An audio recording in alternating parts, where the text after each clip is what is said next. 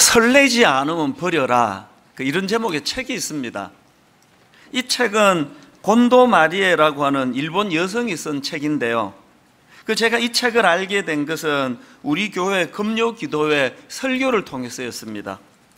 아 그날 그 설교자가 이 곤도 마리에라는 일본 여성을 소개하는데 이분은 정리의 여왕이래요.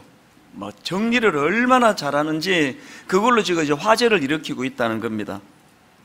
그런데 이 정리의 여왕이 주장하는 게 뭐냐면은 정리는 곧 버리는 거라는 거예요. 그러니까 있는 걸 잘 정돈하는 게 정리가 아니고 막 할 수 있는 대로 하여튼 갖다 내버리는 게 이게 정리의 핵심이다. 그러면서 이제 이 정리의 여왕의 그 굉장히 그 독특한 게 뭐냐 하면은 이분은 이제 물건을 버리는 기준이 독특합니다. 자기가 어떤 물건을 갖고 있는데 이걸 지금 내가 이거 버려야 되나 계속 갖고 있어야 되나 결정할 때 어떻게 하느냐. 그 물건을 가슴으로 이렇게 안는데요.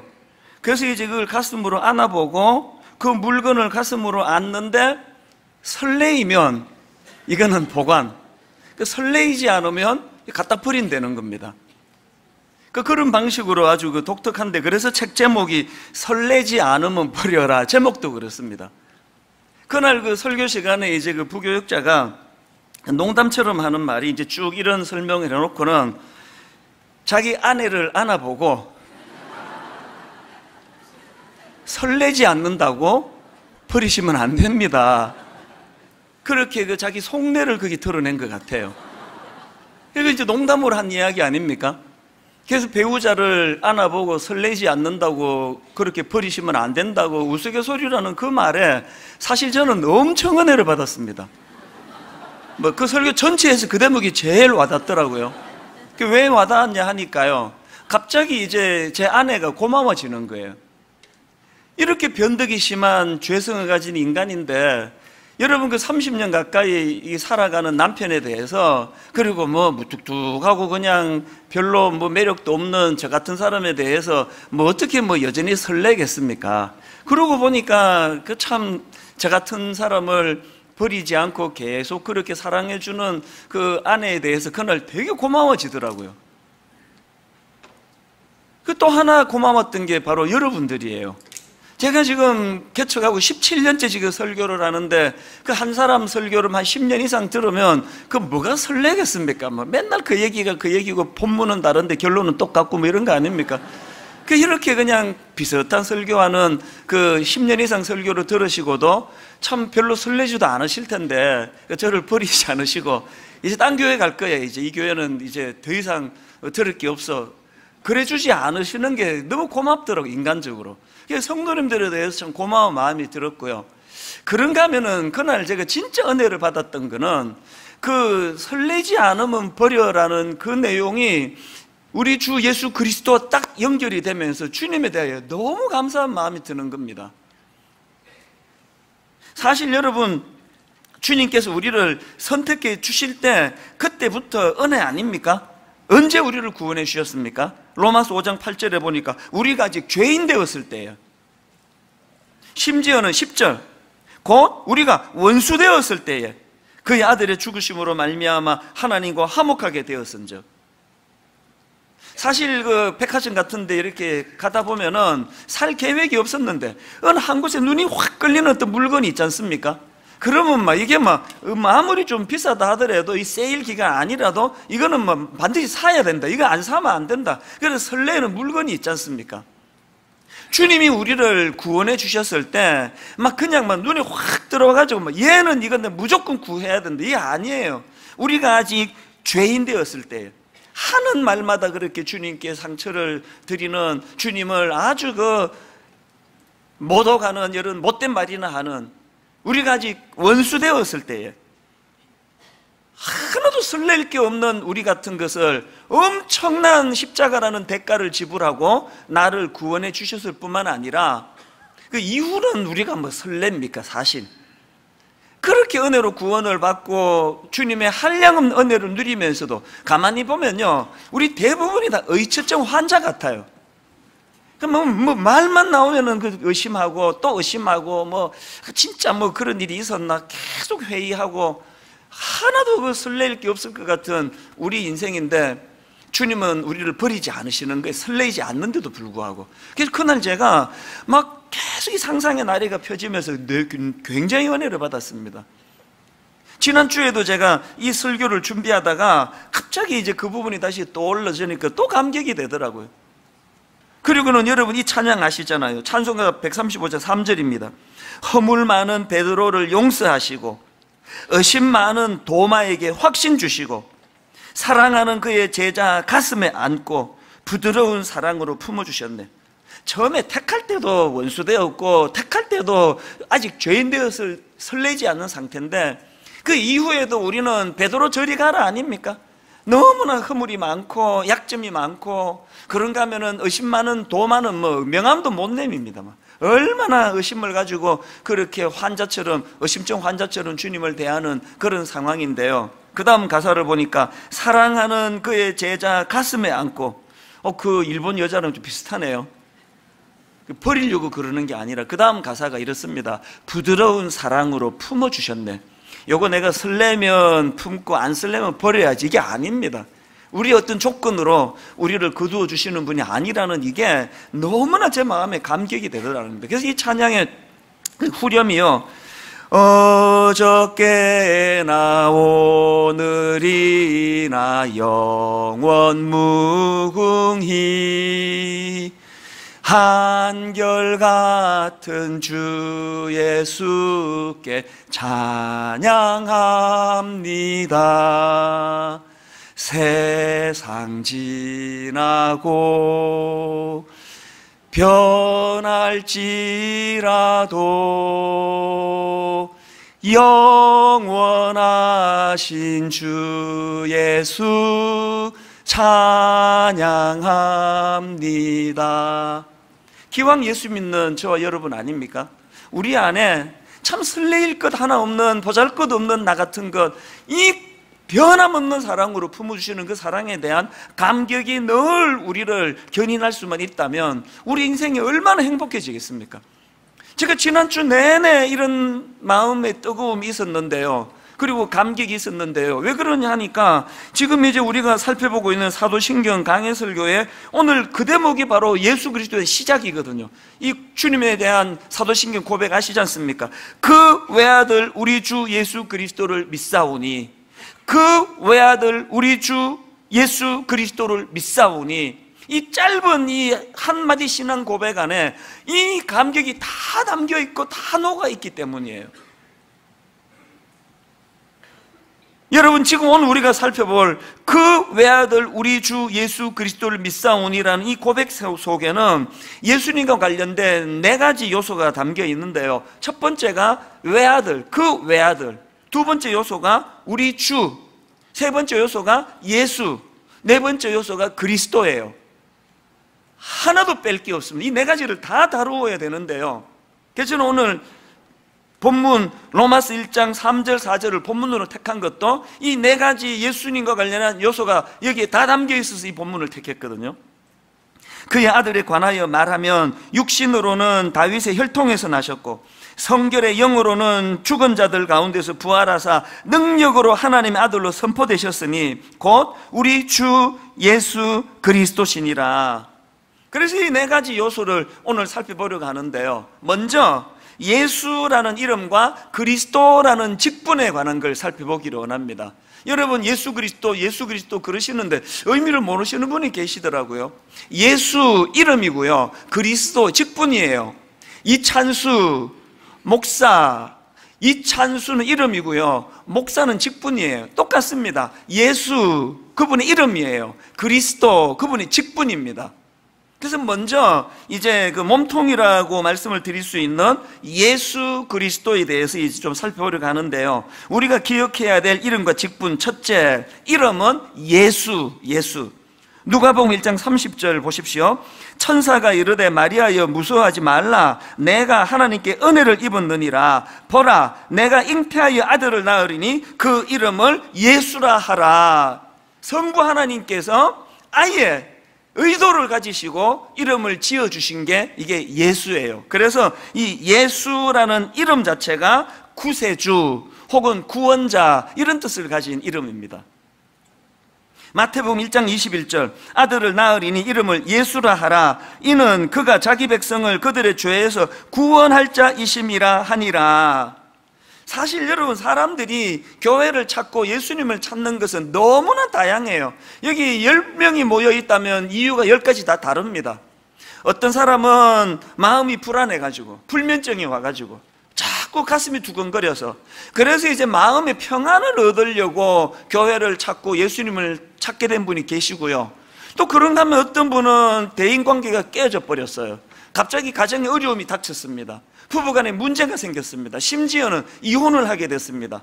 그래서 그 고독하고 외로운 마음을 가눌 길이 없어서 바로 치유자 되시는 주님을 만나면 예수님을 만나면 이런 게 좀 치유가 되겠지? 그런 마음으로 교회를 찾는 분도 계세요. 그런가 하면 어떤 분은 갑자기 병이 찾아와가지고 아, 그 들어보니까 예수님이 병도 잘 고치신다는데 그래서 교회를 찾, 찾게 된 분도 계세요.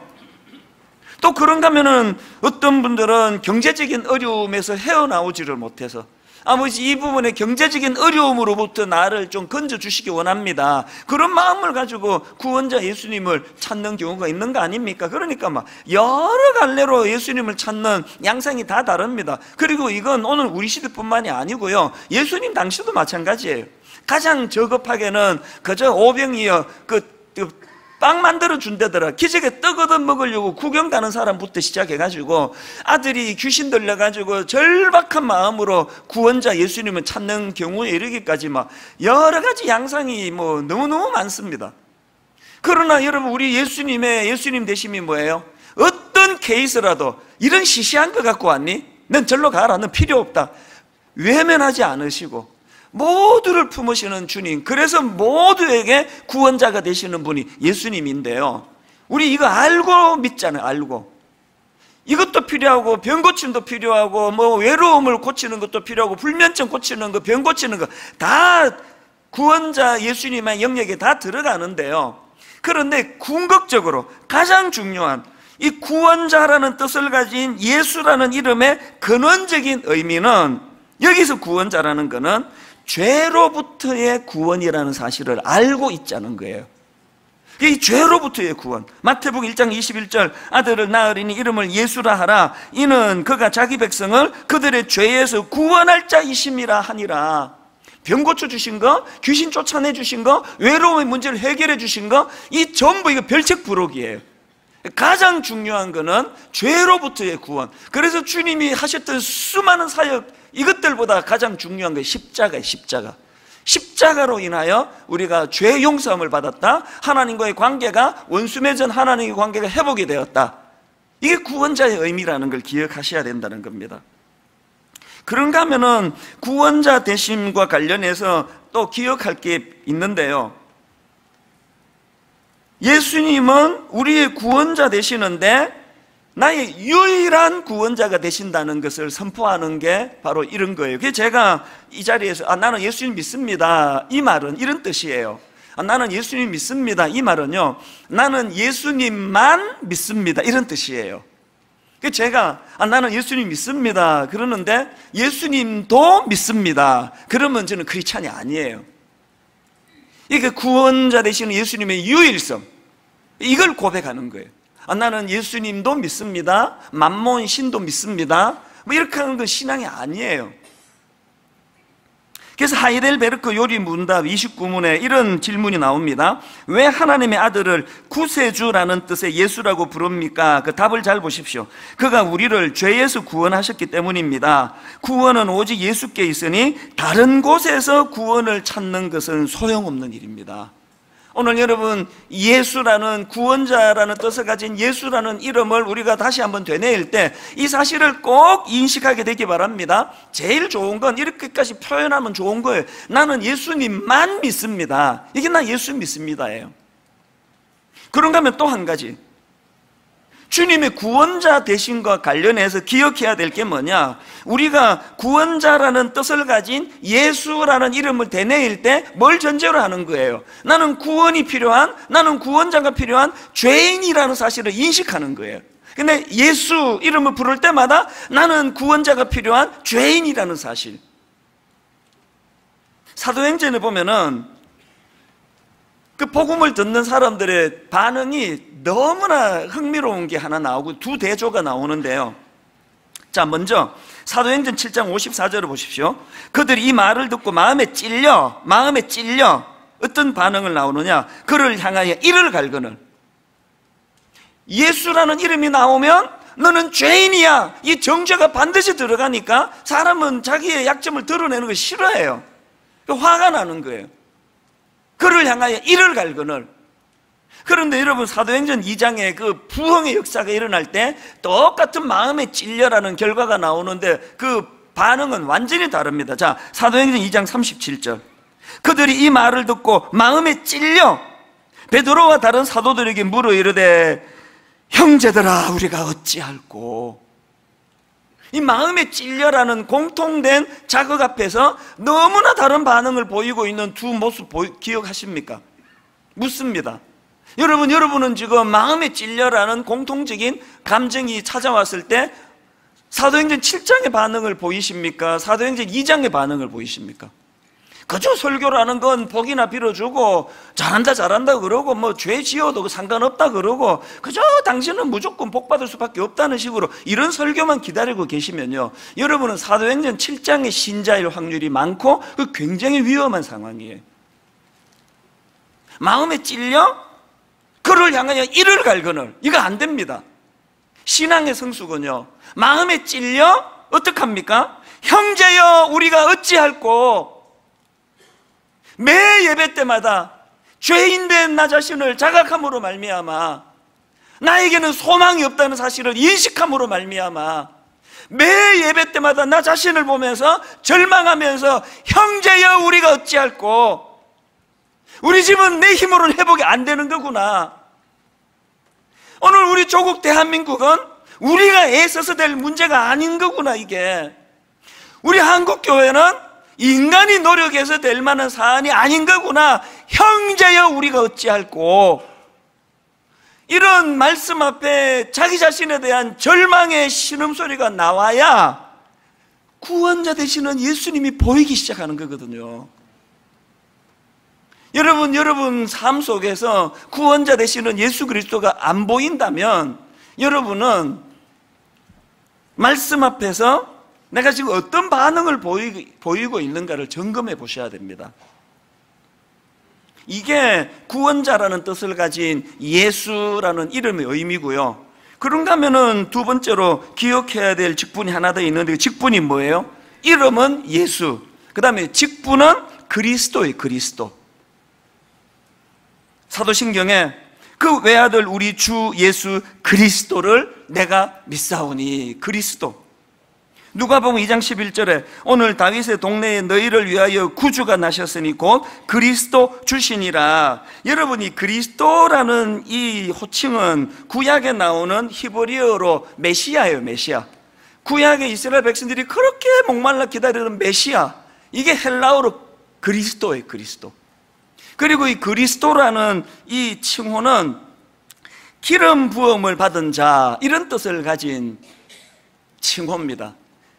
구약에 기름을 붓는 행위, 이건 직분자를 세우는 것과 관련이 있는데요. 구약에 보면은 기름을 부어서 세운 대표적인 직분이 세 가지가 있습니다. 하나는 선지자, 또 하나는 제사장, 그리고 또 하나는 왕이에요. 그리고 구약의 이 세 직분에 있어서 특징이 뭐냐? 각각의 역할에 대한 엄격한 구분이에요. 왕이 선지자 역할을 하려고 그러고 제사 역할을 하려고 그러면 그 엄청나게 그 위험한 일이에요. 이 세 역할이 다 따로따로 구분이 되어 있었는데 바로 예수 그리스도는 이 세 가지 직분을 통합적으로 하나로 이것들을 이루어 가시는 분이다. 이게 그리스도라는 예수님의 그 직분에 담겨 있는 의미입니다. 그래서 하이델베르크 요리문답 31문의 질문이 이렇습니다. 왜 예수님을 기름 부음을 받은 자라는 뜻의 그리스도라고 부릅니까? 자, 답을 잘 들어보세요. 세 가지 직분이 다 나옵니다. 첫째, 성부 하나님께서 성령으로 기름 부으심으로 우리의 구속에 대한 하나님의 오묘한 경륜과 뜻을 완전하게 계시해 주는 위대한 선지자가 되셨고 그 다음에 두 번째가 뭐예요? 자기 몸을 화목제로 드려 우리를 구원하셨을 뿐 아니라 늘 우리의 기도를 하나님께 간구하시는 대제사장이 되셨으며 그 다음 셋째 우리를 말씀과 성령으로 다스리시고 죄에서 승리하시는 삶을 살도록 늘 지켜 보호하시는 영원한 왕이 되셨기 때문입니다 이 하이델베르크 요리 문답 31번의 답이 지금 선지자, 제사장, 또 왕, 이 직분이 지금 통합되어 계시는 예수 그리스도를 설명하는 거거든요.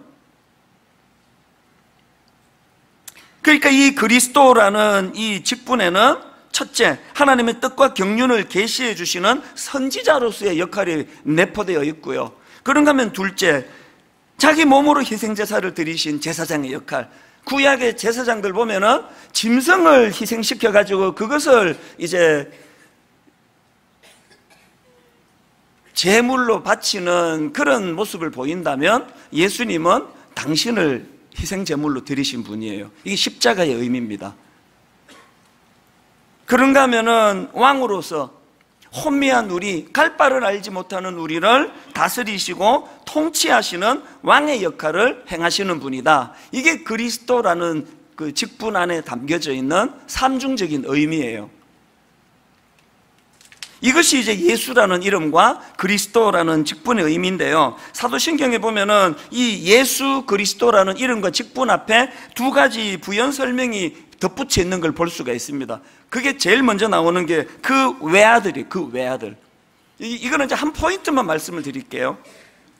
그 외아들 우리 주 예수 그리스도 믿사오니 저는 이 외아들이라는 표현이 우리 번역에 이게 잘 됐다고 생각하지 않습니다. 왜냐하니까 우리가 갖고 있는 선입견으로는 외아들 그러면은 아들 하나 있는지 무녀 동남 그 외아들이라 그러잖아요. 여기서 외아들은 그런 의미가 아닙니다. 총신대 이상훈 교수가 쓴 21세기 사도신경 해설이라는 책에 보니까 이 부분을 잘 설명하는데요.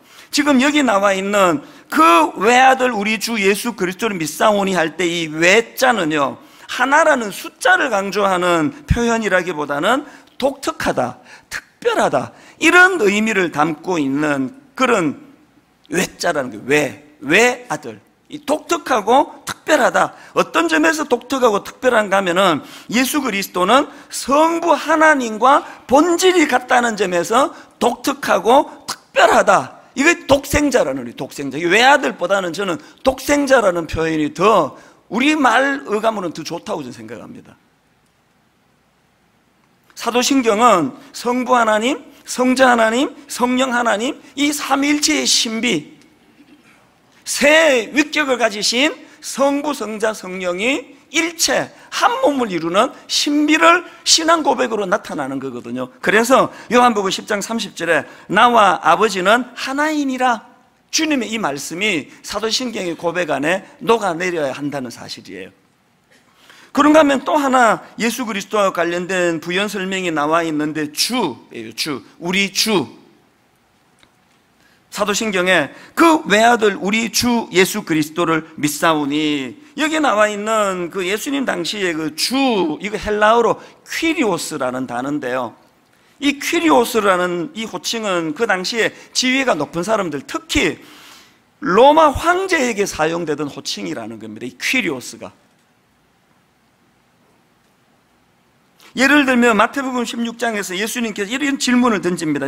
마태복음 16장 15절. 이르시되 너희는 나를 누구라 하느냐? 그랬더니 16절. 시몬 베드로가 대답하여 이르되 주는 여기 주 나오죠? 주는 그리스도시요. 살아계신 하나님의 아들이시니이다.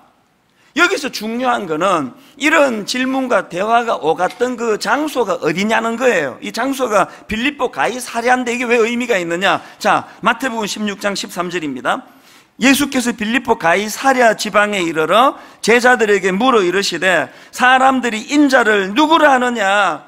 여기 나와 있는 빌립보 가이사랴 지방에서 예수님이 물으셨고 베드로가 주라는 표현으로 주님을 묘사했는데 이게 왜 의미가 있느냐?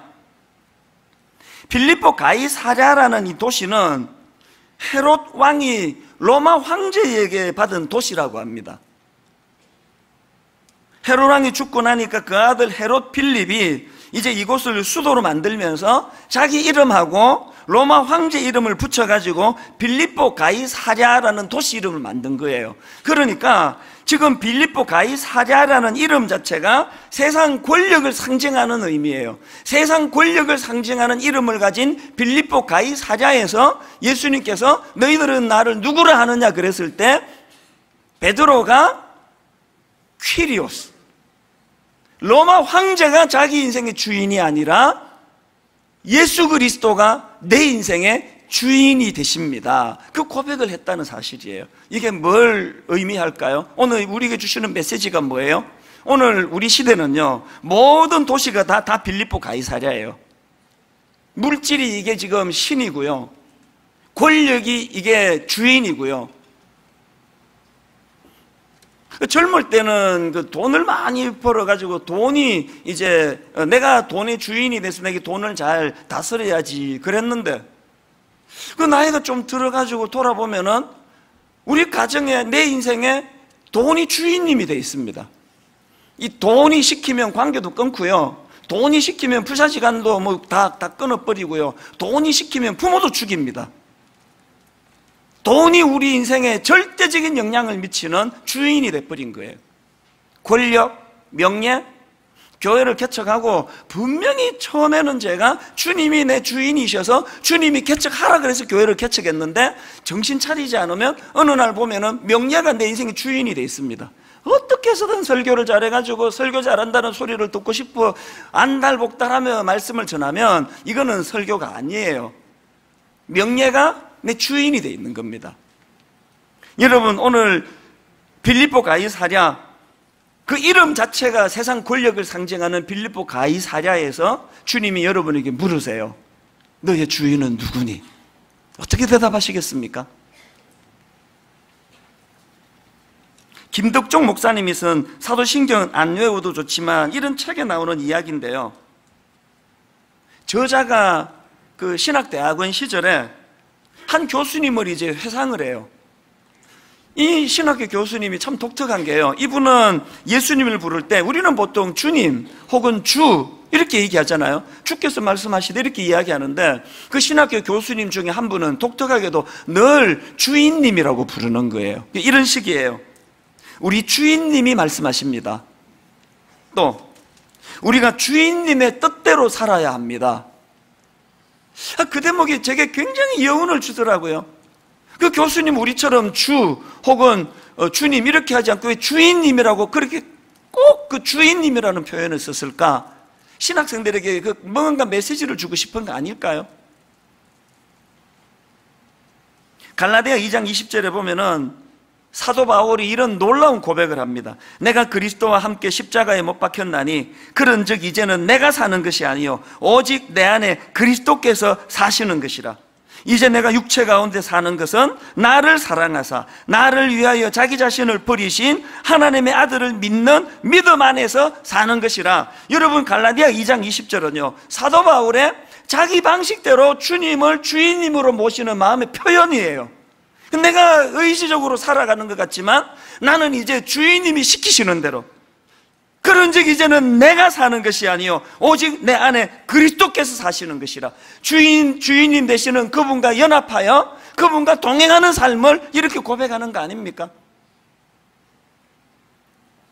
우리 내면에 사도 바울과 같은 이런 고백이 흐르면은요 실제로 우리 안에 이 두 가지 목표가 생깁니다.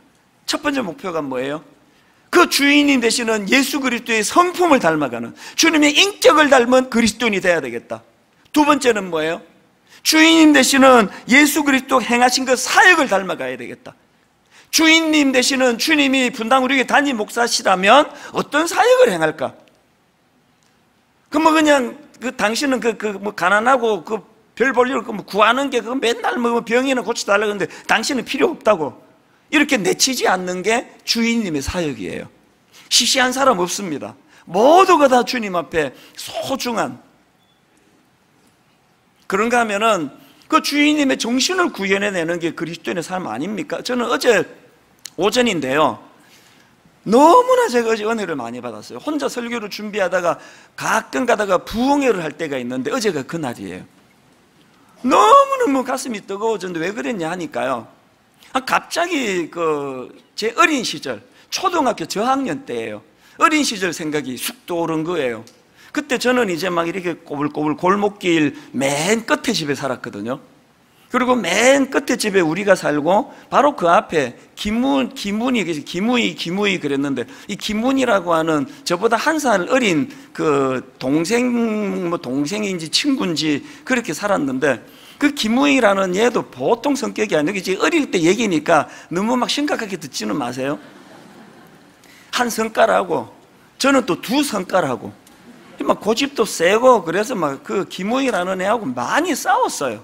막 치고받고도 싸우고 금방 또 풀고 또 싸우고 풀고 그랬는데요. 내가 이해가 안 되는 게 하나 있었습니다. 내 두 어머니가 이해가 안 됐는데 한 분은 김우희 엄마예요. 이분은 애들끼리 그 치고받고 싸우고 그러면요. 꼭 그거를 문제를 삼아요. 그래서 이제 막 치고받고 싸우고 들어가서 이제 한숨 자고 있으면요. 공포의 소리가 이거예요. 찬수 엄마요! 이 저한테 공포예요. 그 김우희 엄마가 자기 아들 데리고 집 앞에 문을 쾅쾅쾅 두드리면서 찬수 엄마요. 이게 복잡한 시간이에요, 그거. 그러면 이제 막 어머니가 나가서 문을 여시면은 이제 막 이제 막, 막 소리 지르면 화를 내시는 기억이 어렴풋이 지금도 나거든요. 얘 지금 꼴보라고 이게 찬수가 이렇게 했다고 그 집 아들도 나를 이렇게 만들었는데 막 이제 이렇게 막 뭐라고 뭐라고 항의를 하면요. 내가 두 번째 이해가 안 되는 어머니가 우리 어머니예요. 한 번도 내 편을 들어주신 적이 없어요. 막 이렇게 그쪽에서 항의하면은 어떻게 해서든 저를 불러내가지고 네가 잘못했네, 네 사과해라. 이게 얼마나 이게, 이게 화가 나는 일인지 아세요? 아니 저 집 엄마는 과하게 자기 아들 편을 들어가지고 저렇게 그냥 당당하게 나오는데 왜 우리 엄마는 왜 내 편을 안 들어주시느냐고 왜? 왜 맨날 나보고 잘못했다 그러느냐고 제가 믿기로는요 저희 어머니는 오남매 중에 막내 중에도 전 뚝 떨어지는 늦게 난 막내이기 때문에 저를 제일 사랑하신다고 저는 믿거든요. 정말 지금도 어머니 저를 너무 사랑하세요. 아니 그렇게 사랑하는 아들이 지금 이렇게 억울하게 지금 항의를 받고 있는데 왜 내 편을 안 들어주시느냐고 왜? 어제 아침에 그 생각이 불쑥 들었는데 이렇게 눈물이 핑 돌기 시작한 게 뭔지 아세요? 우리 어머니 음성이 들리는 것 같아가지고요 이런 소리가 들리는 것 같은 거 어제 아침에 저를 달래며 하시는 말씀 우리는 예수 믿는 가정이잖아 저 집은 예수 안 믿잖아 우리 예수 믿잖아. 이 말씀 안에 왜 그런 행동을 하셨는지 모든 게 다 담겨져 있는 거 아닙니까? 제가 어제 아침에 그 어린 시절이 떠올려지니까 갑자기 이렇게 울컥해지는데 눈물을 줄줄 흘리게 만든 성경 구절 하나가 불쑥 떠오른 겁니다. 이사야 53장에 보면은요, 예수님께서 우리의 그리스도가 되어 주시기 위하여, 우리의 주님이 되어 주시기 위하여 겪으셔야 했던 그 말로 다알수 없는 고난을 이렇게 표현하고 있습니다. 예언의 말씀을요. 이사야 53장 3절부터 한번 보십시오.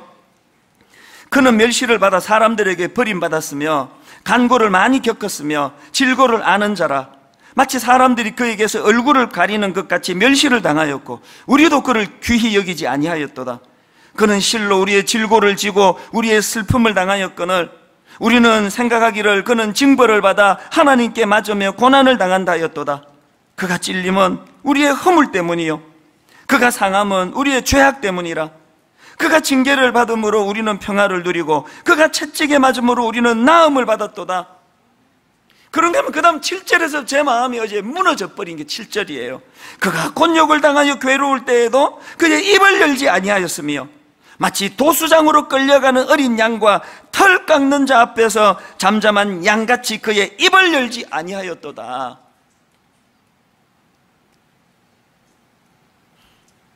그 억울한 십자가를 지시고 그 아무것도 아닌 그 로마 군병들이 조롱을 하는 그 현장에서 독생자 하나님의 아들이신 그분이 도살장으로 끌려가는 어린 양처럼 두려움과 공포에 찔려 털 깎는 자 앞에 잠잠히 서 있는 것처럼 입을 열지 아니하시는 그 주님 어제 묵상이 된 거예요. 왜 항변 안 하셨을까요?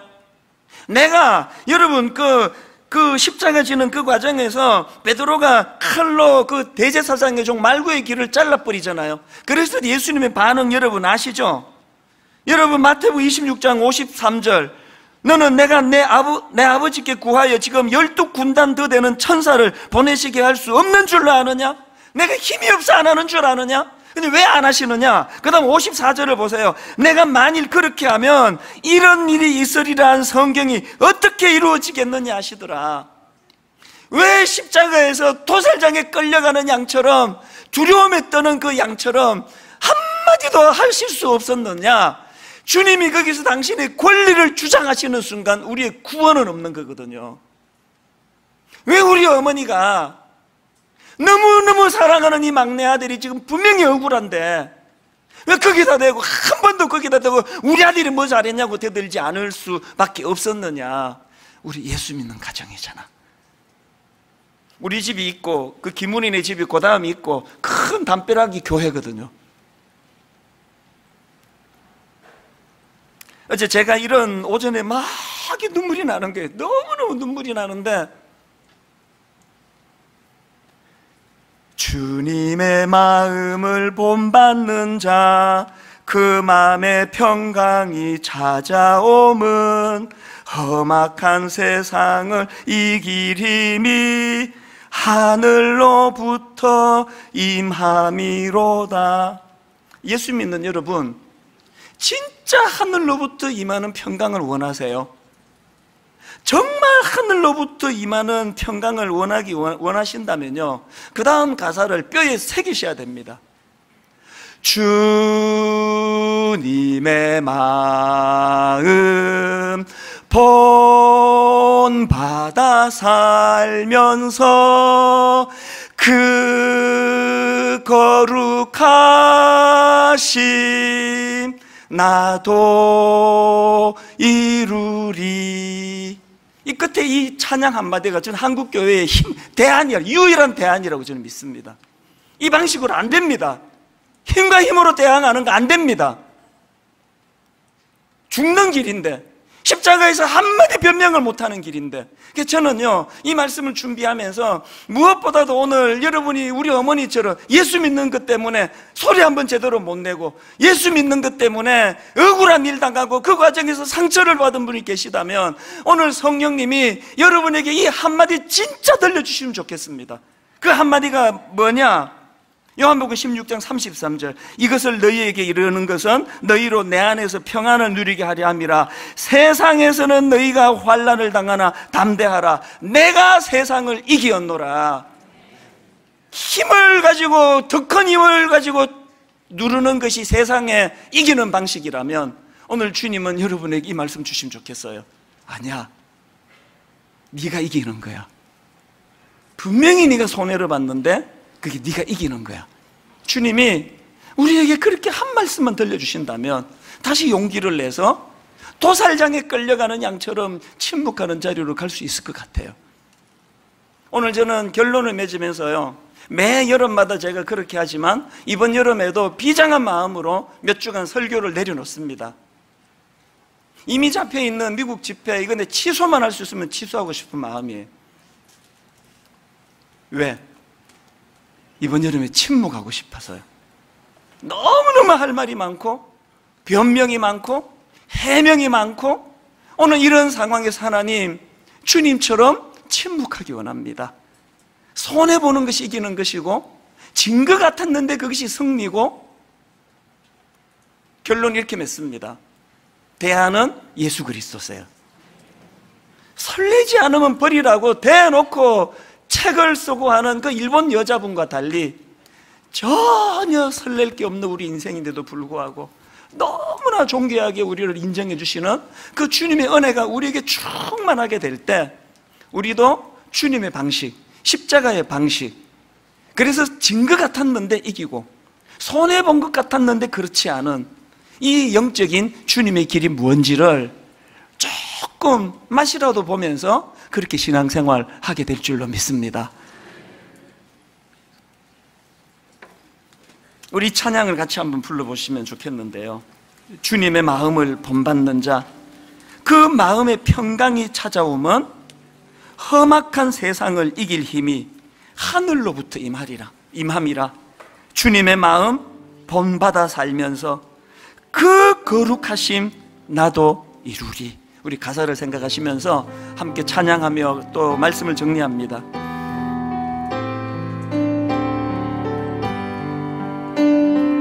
주님의 마음 본받는 자, 그 마음의 평강이 찾아오 험악한 세상을 이길 힘이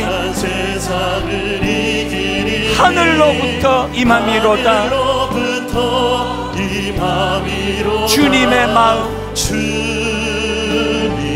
마음. 본받아 살면서 본받아 살그 거룩하신 그 거룩한 나도 이루리. 다시 한번 주님의 마음을 본받는 자. 그 주님의 마음을 본받는 그 마음의 평강이 찾아오면 험악한 세상을 이길 힘이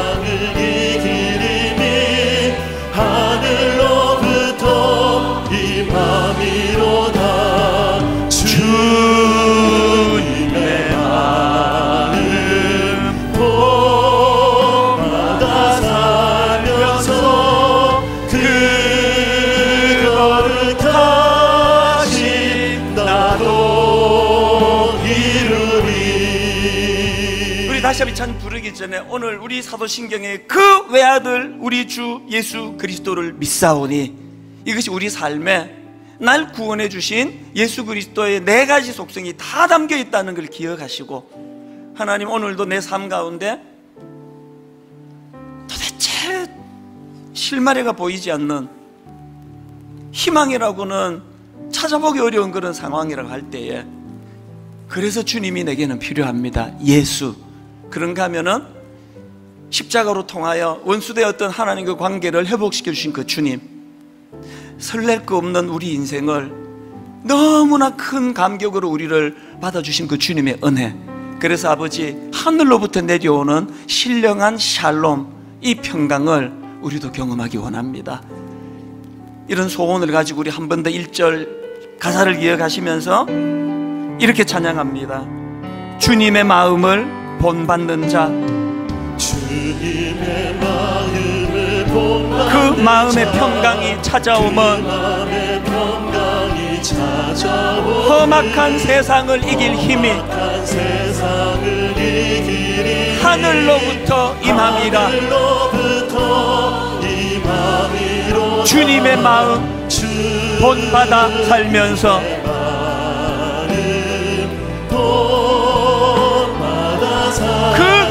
거룩하신 나도 이루리. 주 모습 내 눈에 안 보이며 그 음성 내 귀에 안 들려도 내 영혼 날마다 주를 만나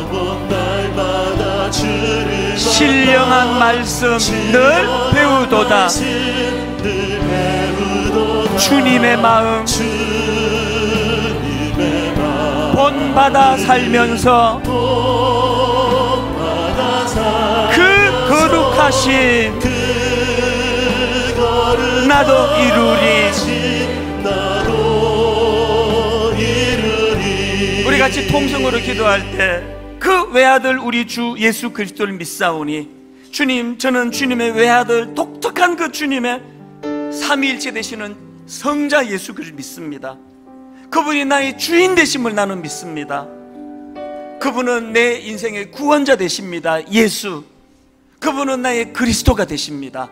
오늘 한 항목 한 항목 기억하며 아버지 하나님 오늘 저에게 이 믿음을 허락하여 주시옵소서. 통성으로 주신 은혜대로 받은 은혜대로 함께 기도하기 원합니다. 같이 기도하시겠습니다. 고마우신 하나님 아버지. 그렇습니다 주님. 날 구원하신 예수 그리스도. 예수 그리스도 십자가의 자리까지 나아가셔서 우리의 죄 문제를 해결해 주시려고 도살장에 끌려가는 어린 양처럼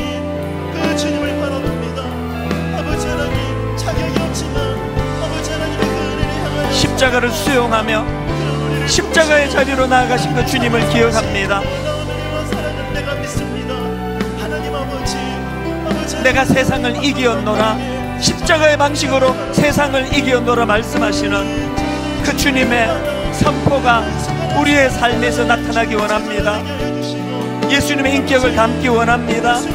예수님의 사역을 본받기 원합니다. 주님의 마음을 닮아가기 원합니다.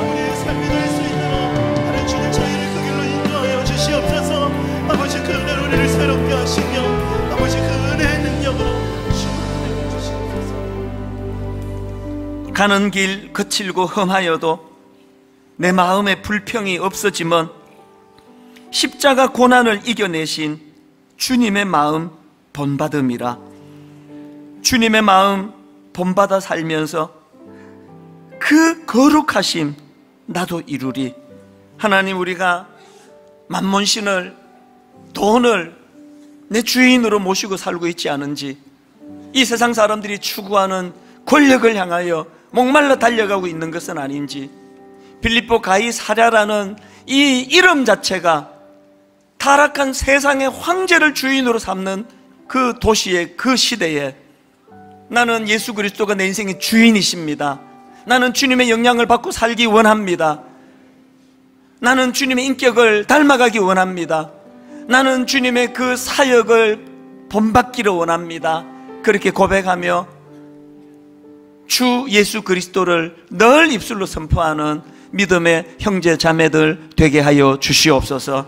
그 은혜로 인도해 주시는 주님께 감사드리옵고 예수님 이름으로 기도드립니다. 아멘. 우리 다 자리에서 일어나셔서 우리 이 찬양 드립니다. 수많은 무리들 줄지어 예수 이름 높이세 능력의 그 이름 가사를 생각하며 함께 찬양 드립니다.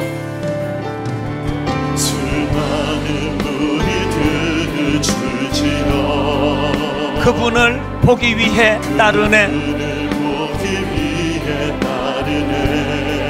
겉으로 보기에 평범한 목수이신 그분 앞에 영안을 열고 모든 무릎이 꿇어 경배하네. 모든 문제들 하나하나 구원자 되시는 주님 앞에 죽음까지도 힘을 잃고 생명의 근원 되신 예수 이름 앞에. 생명의 근원 되신 예수 모든 권세들 굴복하네. 여러분 선포하실 준비 되셨습니까? 선포하십시오. 예수 이름 높이세. 예수 이름 높이세. 능력의 그 이름.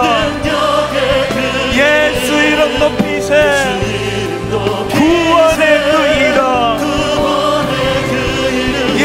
이름을 부르는 자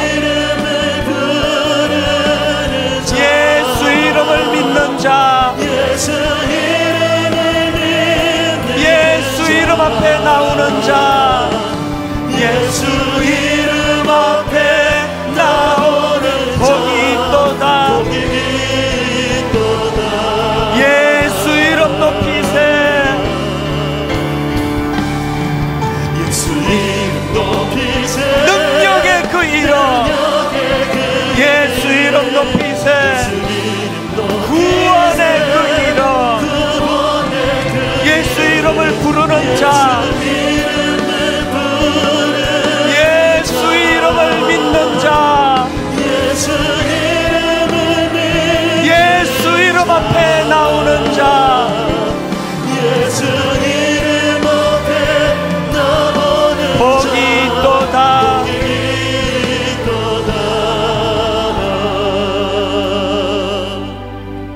고마우신 하나님 아버지 이 구원자 되시는 예수 그리스도 십자가 지신 그분 앞에